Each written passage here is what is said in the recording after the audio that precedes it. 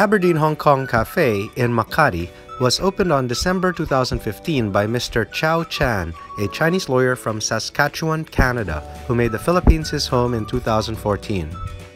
Before setting up his restaurant, he was on cable TV as a restaurant critic for Chinoy TV, as he is a foodie, loves cooking, and has a bold personality.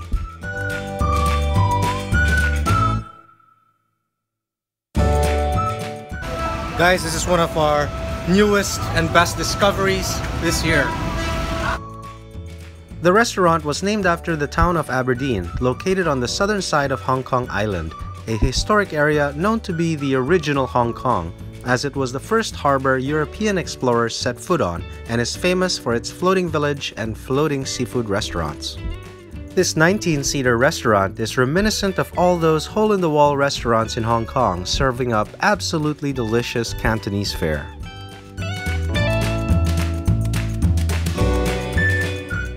We have already been here on numerous occasions, but on our first visit, we had a chance to sit down and meet Mr. Chow Chan. How are you? My name is Chow and welcome to the, um, uh, first of all, uh, you are now a Hong Kong people because you're, you're sitting in, in the uh, land of Hong Kong. This is Tabati Hong Kong style Chinese food. Now I have over 30 years in food experience and I'm from States in Canada and I've been served a lot of uh, uh, presidency, the Queen and whatnot, you know, when they when they were visiting States in Canada.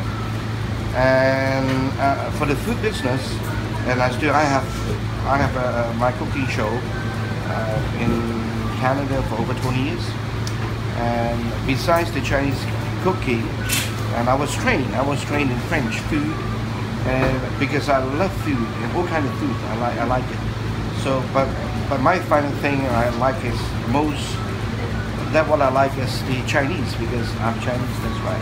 And why Chinese food is a is very healthy and you have a lot you can use all different kind of uh, food i mean like chicken beef uh, seafood and then to create a very different kind of flavor like when you say chinese food we have two two big category one is northern china one is southern china the northern china because because the the crabbing there the weather is very cold that's why the northern chinese food is spicy and oily. Now, nowadays, especially in Manila, Makati, a lot of Northern Chinese food because because of the the business online game. They have a lot of people from Northern China. That's why the food is very spicy and and, and oily. And this is not that we are from Southern China. Southern China because the weather is very nice and you, you have it's not that cold and going back to about 50, 60 years ago, is the vegetable is all seasonal. You have autumn, uh, winter, spring, and summer. In all these kind of seasons, you have different kind of vegetable. That's why have a lot of, uh, uh, varieties and different way to prepare the food. So the conclusion is Southern China, the food is more mild and it's more tentative, more colorful, the garnishing. Northern Chinese food is they do they don't have too much choice. That's why it's very spicy and hot. And why do they like it? I mean, spicy hot. That's the way they keep themselves warm in, in cold weather. So when you talk about Chinese food, when you talk about you are the expert, when you ask, hey, what is Chinese food? What's the difference? So this is the two different things, northern and southern. You're now sitting sitting in the rice land, Aberdeen Hong Kong Chinese food places we serve the Southern Chinese food. It's mild. Okay? So if you ask me what kind of dishes I like, of course I like everything because I'm the one to create the menu here. But for the beginner, when you come in to try our food, I would say that, you know, um, try, um, you like seafood? I would say that if you like shrimp, uh, we have uh, our uh, bleaching prawns, and then you, we also have the steamed uh, shrimp and the fish and today I'm going to recommend you to try our salt and pepper assorted seafood which is with the prawns with the salmon and with the squid and I also would like you to try one one dish is a little bit spicy, well, with chicken. Okay, we call that uh, Beijing chicken, and then our our Camto beef brisket is phenomenal, and also the lamb. So I'm going to have a few dishes that we taste and you take a picture, and, and then you show you show the people. I mean, our Filipino people, Filipino, right? And see what they like. And this is what I always say. Do me a favor, if you like the food, you tell your friends. But if you don't like it, you tell me. Upon Okay. sitting, you may Okay, request for complimentary hot tea. There are so many good dishes to try in the menu, so we suggest you first start off with the soup. Chow says if you don't like the soup, you don't have to pay and you can just leave. The slurpingly good soup will draw you in to try some more of his exciting dishes. We would highly recommend the herbal chicken and wild mushroom soup, beef camto hot pot, Tai Pan beef, salt and pepper squid, shrimp toast, Beijing ribs, Sichuan chicken, broccoli with chicken, Beijing tofu, pan pan eggplant hot pot, bean curd vegetable roll, shrimp paste with squid and celery, sliced beef with ampalaya, imported celery with garlic, century egg with garlic spinach, vegetable delight, stuffed ampalaya, seafood hofan, salted fish and chicken fried rice, spinach seafood soup, hot and sour soup, West Lake beef soup, shantung prawns, oyster cake, yang chow fried rice, coral shrimp fried rice, Fujian fried rice, steamed fresh shrimp, salt and pepper salmon, watercress native chicken herb soup, shark's fin and ham hock soup, and for refreshments, Hong Kong style milk tea and cool honey lemon juice with French toast for dessert.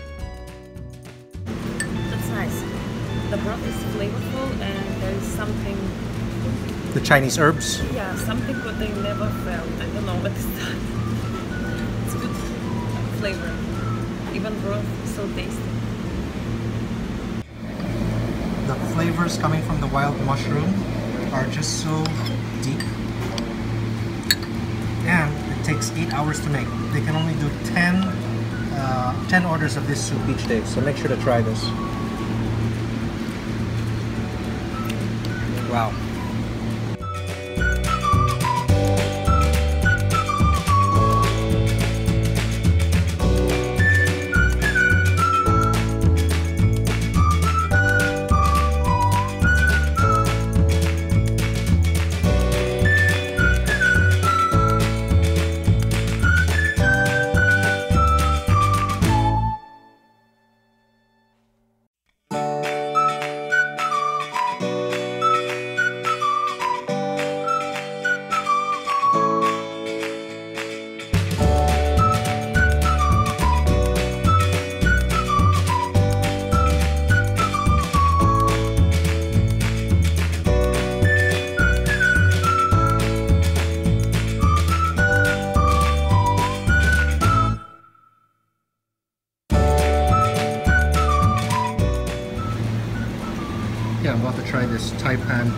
Supposed to be one of their signature dishes. It's supposed to be a little bit spicy from northern China. Mm.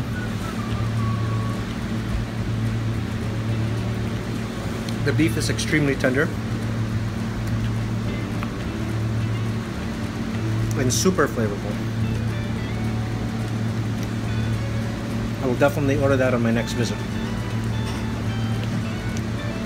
Well, the food's been amazing thus far. Have yet to spot a weak dish here. Wow.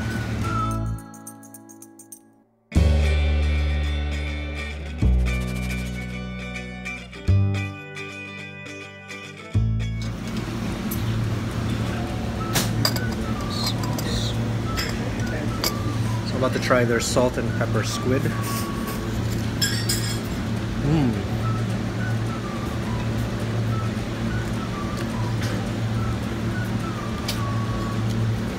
A very nice level of crunch, and their seafood here is very fresh.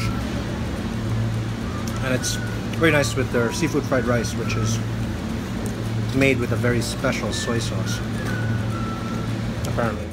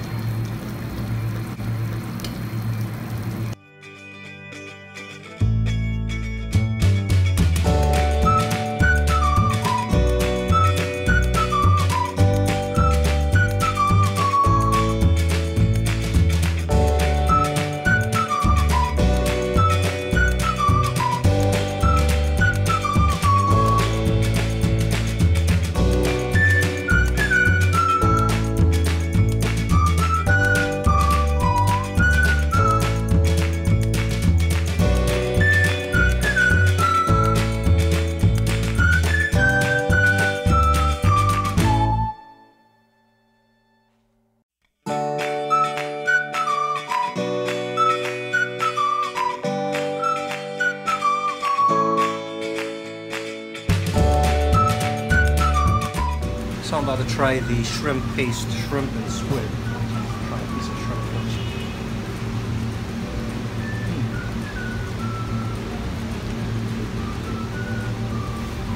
It's very fresh, the shrimp. Let's try the squid now. I love squid tentacles. Wow.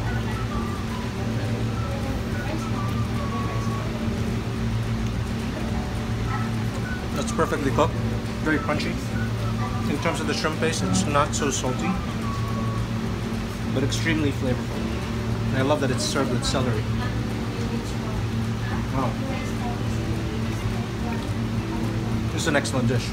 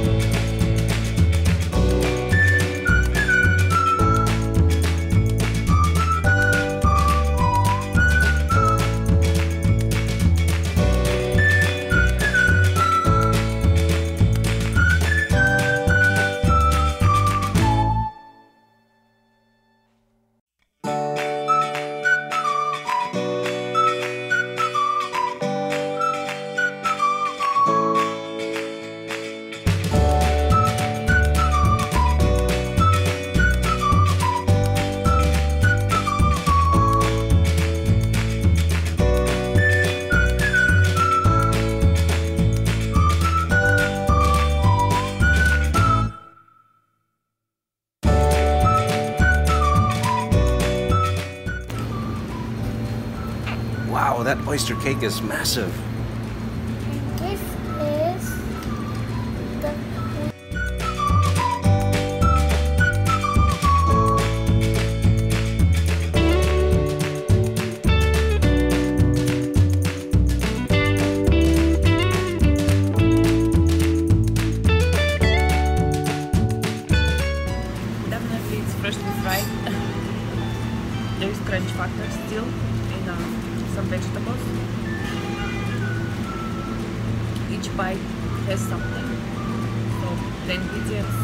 Enough.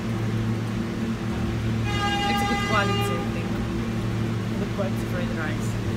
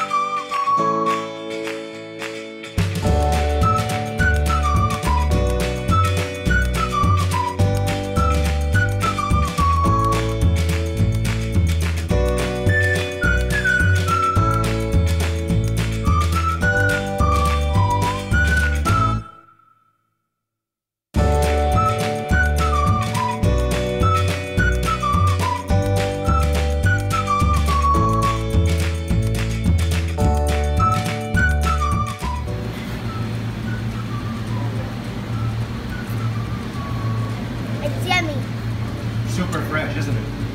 It's cooked. Freshly cooked. And I was able to remove the shell very easily. That's how you can tell it's so fresh. Nice, huh? Yeah.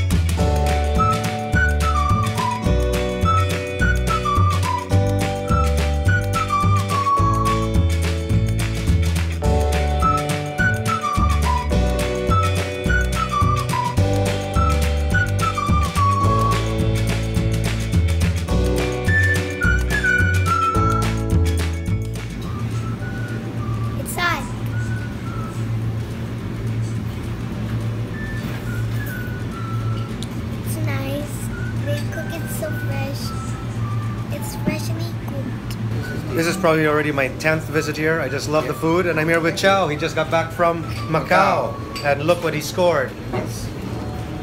This is this is the, the very authentic. Why we have a very nice soup is because we use all first class grade A stuff like the Chinese ham. We call it gamma fortui. Okay, gamma fortui. I brought the whole thing here. Okay, when you make soup, you put this. Also, we have the oyster. And hey, look at this, shark fins. Okay, the soup. And then the oyster. Now that's the good stuff. Make sure you give me a call when it's uh, when it's ready. Okay, and then the oyster. Oyster. Then we have the dry abalone. Okay. So when, when we have the soup, we have the uh, shark fins and uh, abalone and the hams. These ones already, you don't have to go to Hong Kong. So then uh, we have all these. Look at this. Nice and fresh. Uh, what do you call that? The well, snail is a small one. This is bigger than that. What do you, what do you call it? Big? It's a sne- sea snail. Yes. Okay. Abalone. It's not abalone. Well, a kind of. Okay, a kind of abalone. So this is very good to make soup. Okay. Yeah. And it's quite costly. So that's why we have it, but you have to come try every day. Okay, randomly. I'm not going to tell you which day it is. Look at the fin. But one, one thing is that the price will be the same. We, we are not changing the price if, if the shark fins or if it's abalone. No, every day is the same. Okay, the, and the soup size is is good for two to four person. It's good. All right. Thank you. Cut. You got that?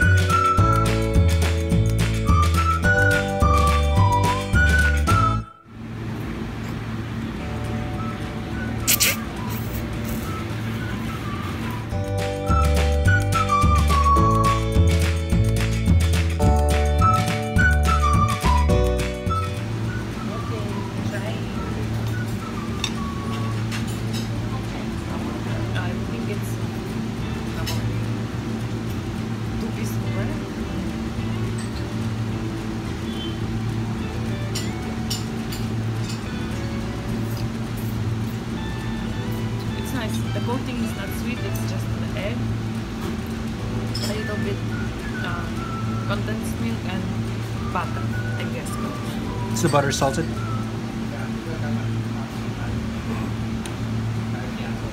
regular.